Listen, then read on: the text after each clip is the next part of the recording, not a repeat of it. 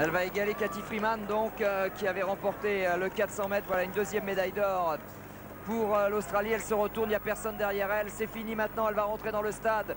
Et James Seville va être sacrée championne olympique du 20 km marche. C'est superbe pour l'Australie. Et croyez-moi, ici dans le stade, c'est de la folie.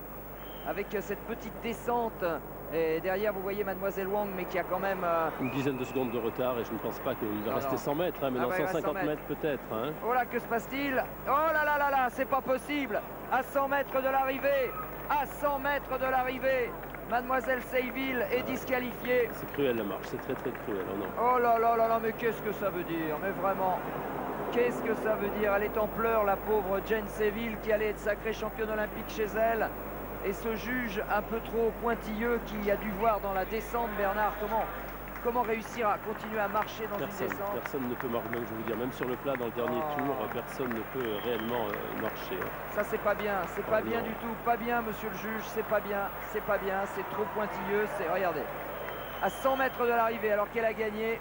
Alors évidemment c'est bien pour Mademoiselle Wang bien sûr et pour la Chine, il n'y a rien à dire, mais euh, c'est tellement tellement cruel ce qui arrive à Jane Seville qui est privée euh, d'une médaille d'or qu'elle avait euh, plus que largement mérité. Tout ça parce qu'un juge avec un brassard et un chapeau euh, a fait plus que son travail. il va falloir révolutionner ça un jour ou l'autre. je pense que c'est un, petit peu, c'est un petit peu cruel, enfin, c'est même très cruel, enfin, un petit peu. Donc je sais pas, il faudrait que les avertissements soient mis de manière bonne. Il faut que ce soit donné par trois juges différents. est-ce que c'est cet homme qui l'a donné ou est-ce qu'il a comptabilisé et qu'on que l'on a, on, aurait informé par, par, euh, par Walkie pour lui dire arrêtez là, je, ne sais pas. Mais peut-être à ce moment-là, il faut le faire de manière un peu plus loin, peut-être, soit un peu plus élégant. Médaille d'or en tout cas pour Mademoiselle Wang en 1h29 minutes et 5 secondes, ce qui constitue d'ailleurs un nouveau euh, record olympique. Mademoiselle Platzer, que nous avons vu s'entraîner en France, Patrick. Oui, qui est une qui s'entraîne sous la conduite d'Anne-Christine Blacher, qui est la prêtresse de la course à pied en France. La marche, pardon. Euh, de, je dis course à pied. oui, vous la, vous la disqualifier. Non, non, non, de la marche. Anne-Christine Blacher qui a préparé spécialement la Norvégienne euh, Platzer du côté de Nîmes. Et la Norvégienne qui obtient donc une superbe médaille d'argent. Mais à distance quand même, enfin vous me direz quand même, 28 euh, secondes hein, seulement de Mademoiselle Wang.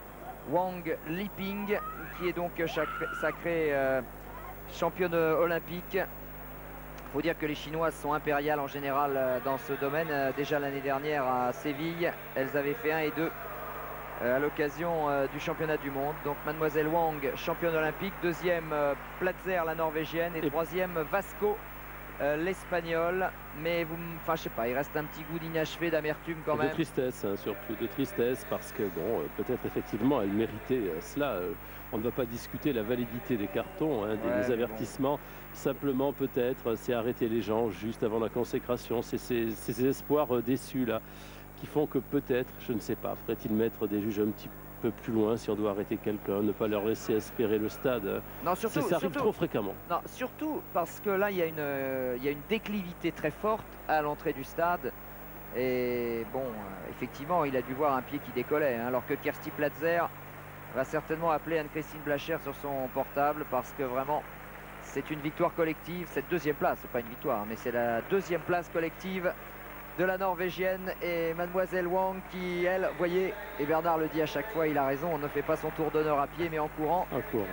Quatrième place pour Alfridi, l'Italienne. Les Italiens qui sont passés près de la consécration aussi puisque Elisabeth Perron a été disqualifiée mais bien avant alors qu'elle était en, tête euh, de la course. Et eh bien Alfridi apporte un accessite euh, aux Italiens pendant la quatrième place, mais à plus de 2 minutes 20, euh, à 2 minutes 20 exactement, de Mademoiselle Wang. Et puis ensuite, c'est la Mexicaine Sanchez qui termine des nouvelles de nos petites françaises. Eh bien, elles sont euh, aux alentours de la 22, 22e place, Patrick, pour euh, Nora Alexir. Et ah, vous, êtes, vous êtes fort, hein, parce qu'elles ne sont pas encore arrivées. Vous avez déjà non, elles étaient, non, elles étaient annoncées déjà.